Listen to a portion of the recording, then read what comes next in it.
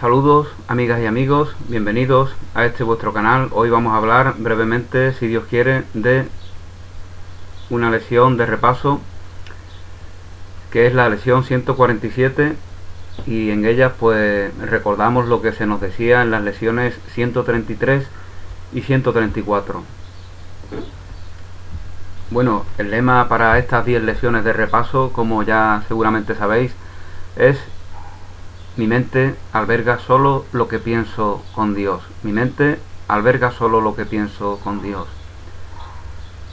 No le daré ningún valor a lo que no lo tiene. No le daré ningún valor a lo que no lo tiene.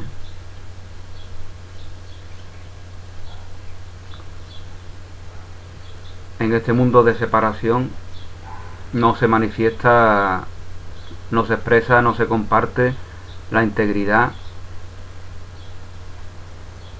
la incondicionalidad,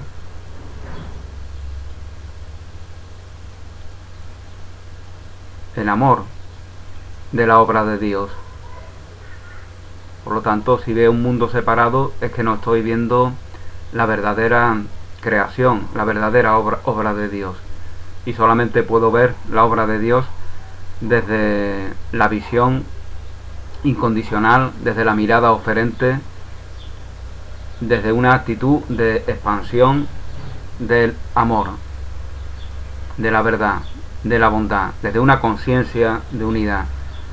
No le daré valor a lo que no lo tiene, pero sí tienen valor los sueños, las experiencias, las herramientas que me proveen del aprendizaje que me permite aceptarme en lo que verdaderamente soy. Provisionalmente todo ello sí tiene un valor, por lo tanto no hay que desechar nuestras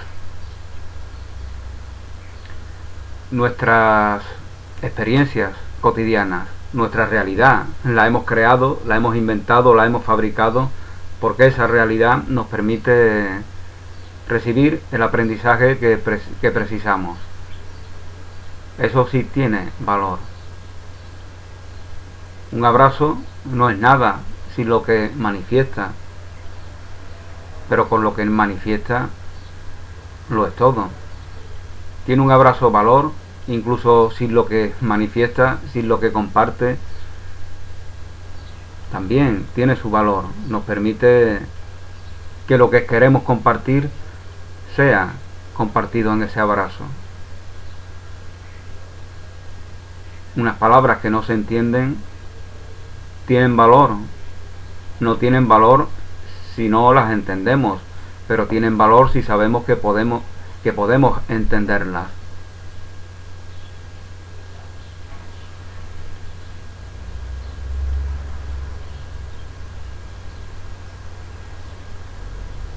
Son sonidos que nos transmiten información porque el código que utilizan eh, es el mismo que, nosotros hemos aprendido. Si dijera, por ejemplo, pues si alguien me escucha, pues o eso no si tiene valor o si lo tiene yo no sé cuál es porque no comprendo lo que se me está compartiendo. Pero podía ser un lenguaje exactamente válido. En un mundo donde la gente fuera creativa, incluso crearía sus propios lenguajes, como hacen los niños, ¿no? Cuando juegan, crean sus propias formas de, de comunicarse y nadie los toma por loco, ¿no? si lo hacemos nosotros, pues seguramente nos tomarán por loco, ¿no? Pero nos toman por loco porque piensan que su vida, que su vida de adaptación, de someterse a lo que se le impone, ese vivir que, que, no es más que eh,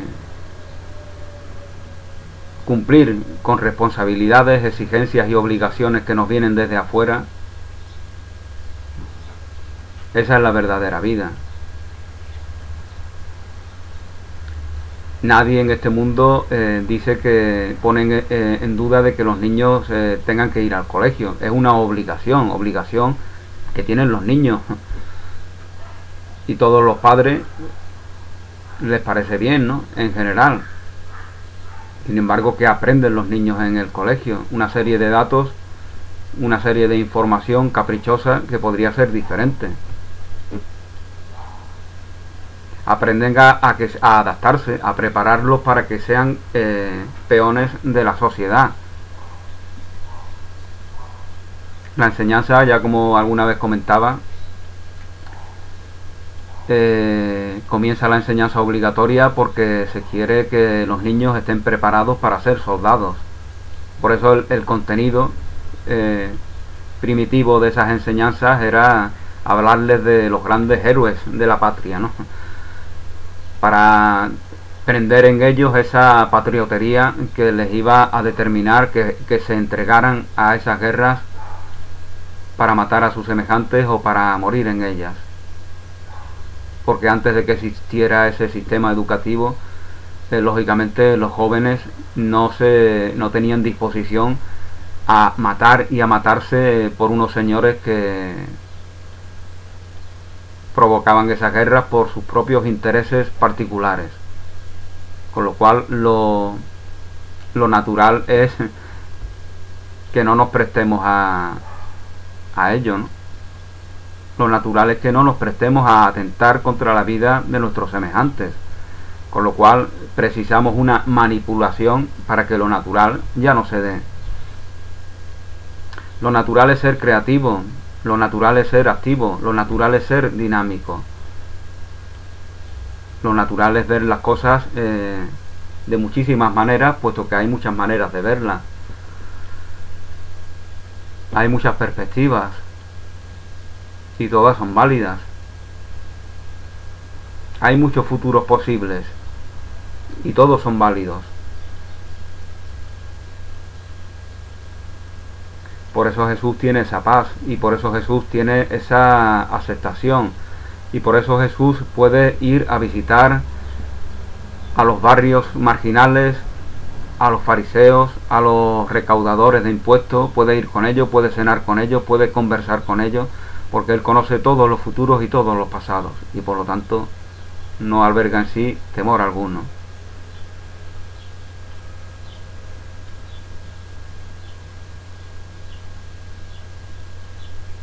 Conoce todos los futuros y todos los pasados porque se conoce a sí mismo. Conoce su condición humana y conoce su incondicionalidad divina. Por eso es nuestro Maestro. Porque es el único que yo sepa que tiene conocimiento de nuestra realidad y que tiene conocimiento de qué tipo de experiencias eh, compartimos en este mundo.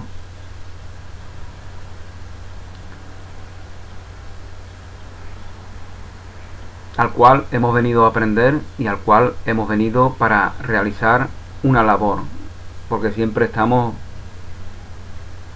eh, siempre estamos en algún lugar por algo.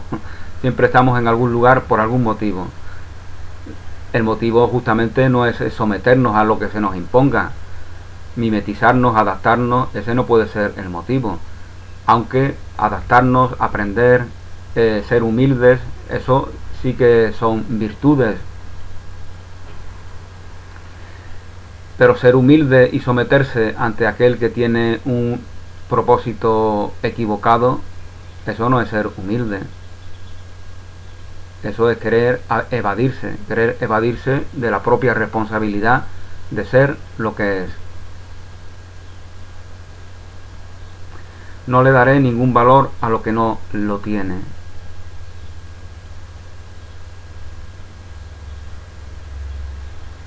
De esta manera expreso mi voluntad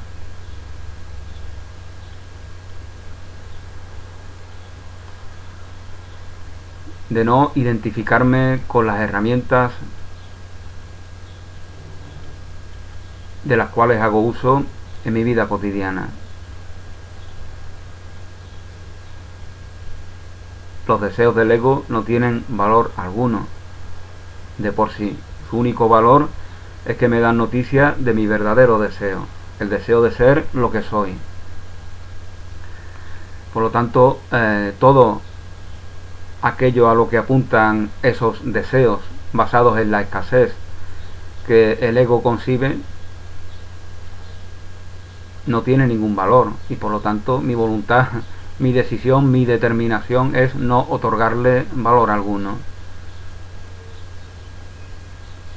Permítaseme poder percibir el perdón tal como es. El perdón me permite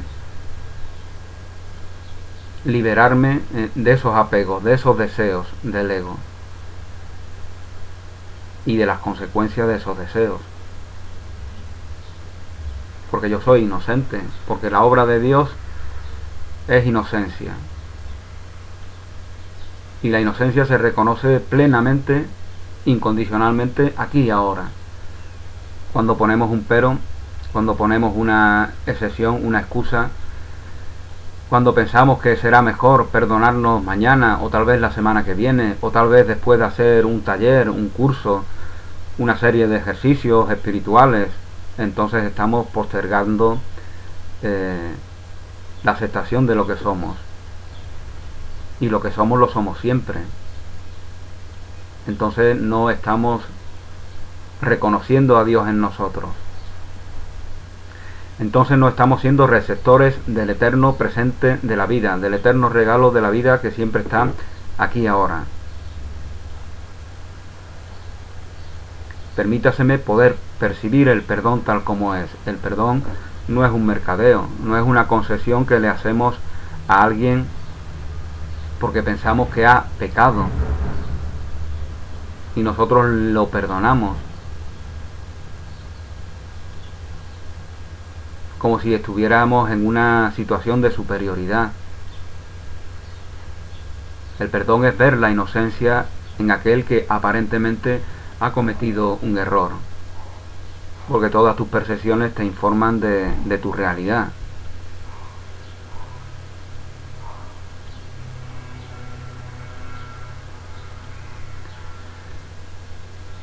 Bueno, pues esta es mi reflexión por el día de hoy para esta lección 147, una lección muy divertida. Gracias por vuestra atención. Feliz día y hasta una nueva oportunidad.